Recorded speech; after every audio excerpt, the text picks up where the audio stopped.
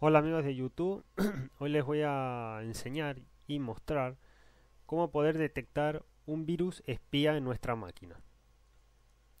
Bien, lo que primero vamos a hacer es ejecutar el CMD y una vez que lo tenemos abierto vamos a escribir el siguiente comando.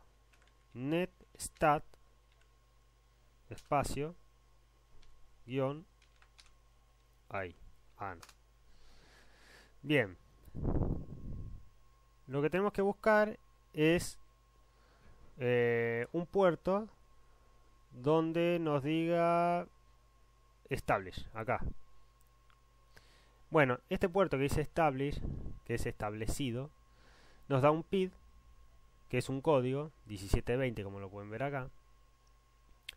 Bueno, esto lo que puede estar haciendo es una transferencia de datos. Eh, tenemos que saber qué es lo que se está lo que se está ejecutando si es un alguien que, bueno que está usando uso de nuestro internet una conexión o un virus o un programa también puede ser para saber lo que nosotros vamos a ir es al administrador de tareas que eh, con Windows 7 hacen control al suprimir y van donde dice administrador de tareas acá, y van a donde dice servicios. Bien, ahí está.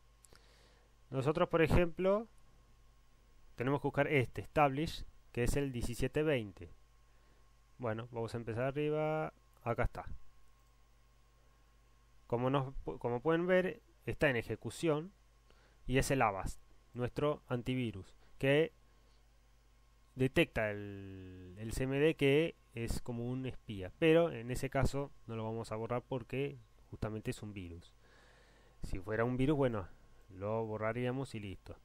Hay casos que, por ejemplo, aparecen, tanto acá como, como acá, em, archivos desconocidos, que puede ser un spyware, o sea, virus, y em, lo recomendable sería no borrarlo de acá, sino eh, por ejemplo, si fuera, no sé, este, bueno, hacer eh, clic derecho o a ver uno que este por ejemplo hay clic derecho y le ponemos terminar proceso o finalizar tarea.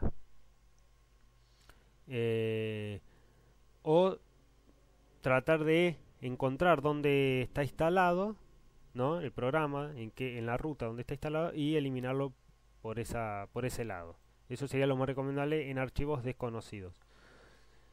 En otros casos, si fuera así y uno encuentra el código, bueno, ya obviamente le pone finalizar tarea y ya está listo, y, o lo borra y, listo. Bien, eh, bueno, espero que les sirva. Cualquier duda, bueno, comenten y bueno, suscríbanse y bueno, eh, espero que les haya gustado. Nos vemos en la próxima.